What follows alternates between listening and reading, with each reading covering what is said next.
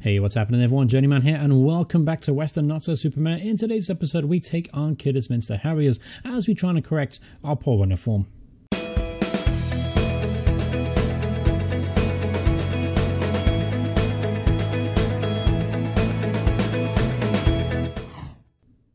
Hey everyone, once again, welcome back to Weston Not So Super Mare. So there's been one single game in between the last episode and today, and that was a 2-0 defeat up against Aldershot, as you can see. Um, we played okay, really. We didn't really create that many opportunities, and unfortunately, uh, Lawrence McGuire was sent off in the 79th minute after Callum Reynolds got a penalty, and it essentially killed the game for us. So right now we are struggling for form a little bit. As you can see, it's a little bit up and down. We had a couple of good wins in there against Ebbsfleet and AFC Fylde, but we need to get back to winning ways desperately. And today we're up against Kidderminster team that are currently first in the table. Uh, as you can see, we are currently 18th uh, with six points at the bottom, and then uh, Kidderminster right now are currently unbeaten. So we definitely got an uphill battle today. Take a look at the Kidderminster team, who has been playing well for them this season. So it looks like this guy, Emmanuel uh, Sure, we'll go with that. Good classic English name. Uh, as so far scored eight goals in six games this season. He's dominating the league. Uh, then you have Richard Mills on the right, who's having a good season. He is on loan from MK Dons.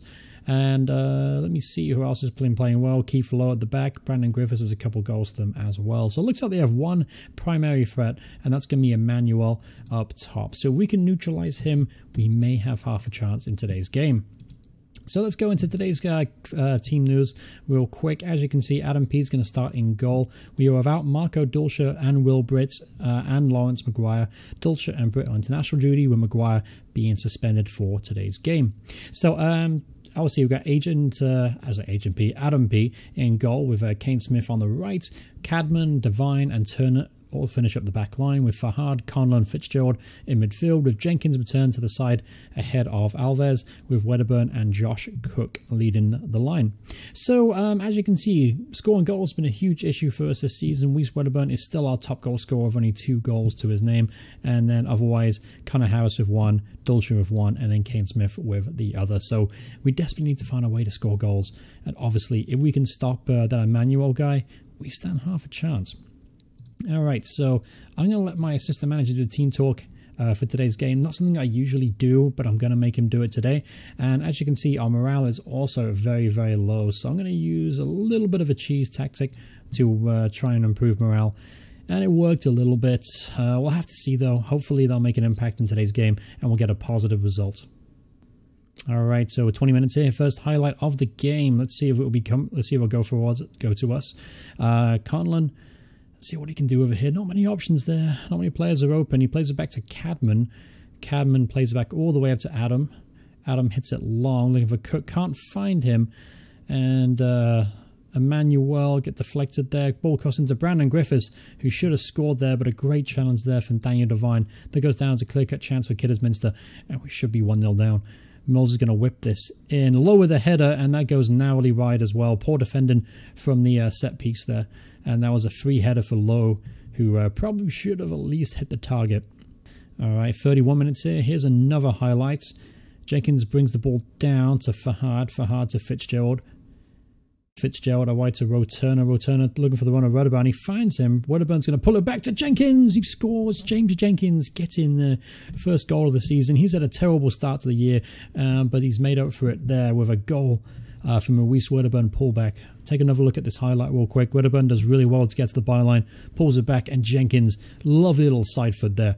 Reminiscence of last season's success when he won the Player of the Year award. Great goal there from James Jenkins, and 1 0 to the goals. All right, here's maybe another chance. Going 2 0 up will be great, but we don't have the ball back. we got to win it back quickly because uh, Kidderminster can get us on the break here. Ball's hit long. Cabin does well on the uh, on the defensive recovery. Adams going to bring this ball forward. Fahad to Fitzgerald, back to Wedderburn. Cook, nice build-up play here. Wedderburn inside to Cook. Cook to Jenkins. Jenkins the ball cheaply and Devine does well to win the header, but the danger is not quite over yet. Low to Griffiths, he's through to Mills. Mills is through on goal.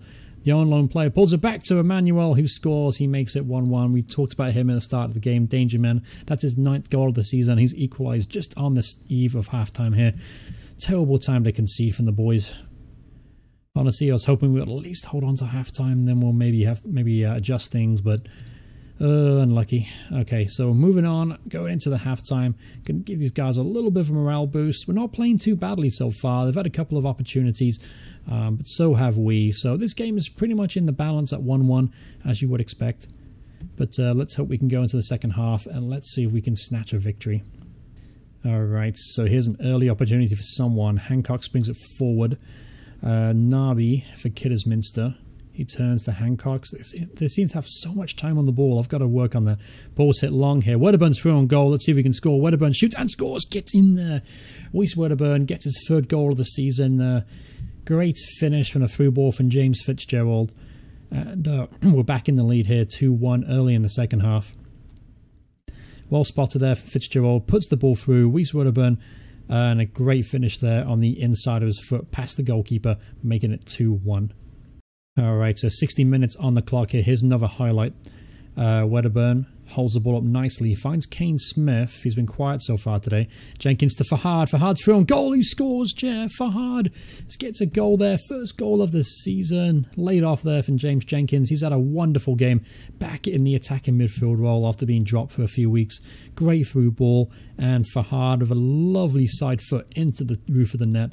Making it 3 1. All right, so let's get these boys under control here. Let's tell them to concentrate.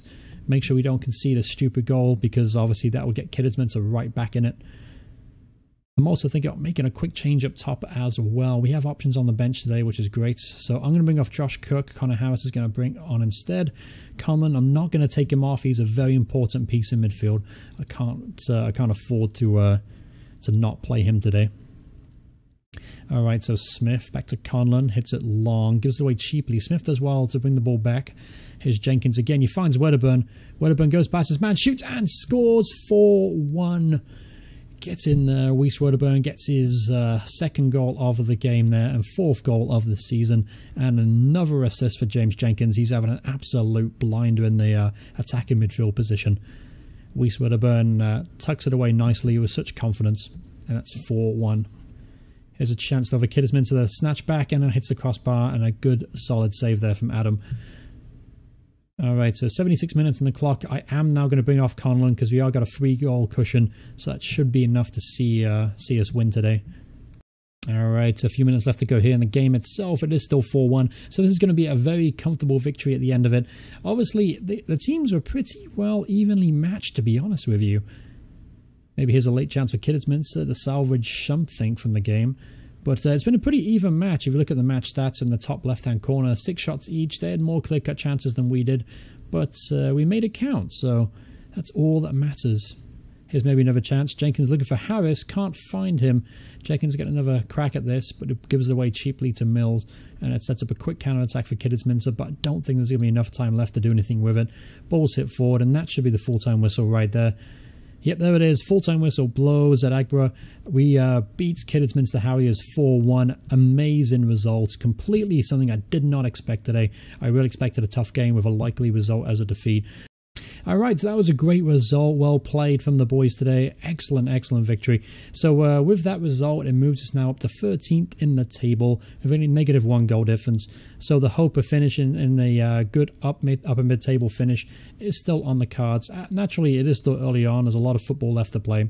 Uh, with that in mind, let's talk about the next fixture. So up against Maidstone, Grimsby, Barrow, Sutton, York, uh, Lincoln and then Southport in the upcoming game. So let's pick a fixture for the next one. I'm tempted to go with Grimsby, be honest with you. They're a big club down here at the uh, Vanarama National League, but so is Sutton United. So, you know what? I'm going to go with Sutton United in the next fixture, and that's going to be the few games for now. So, uh, thank you guys so much for watching this video. Hope you guys have enjoyed this series so far. If you did, remember to drop a like, and if you want to see more videos from me, remember to hit subscribe. Thanks for watching. I'll see you guys in the next part. Goodbye, everyone. Goodbye.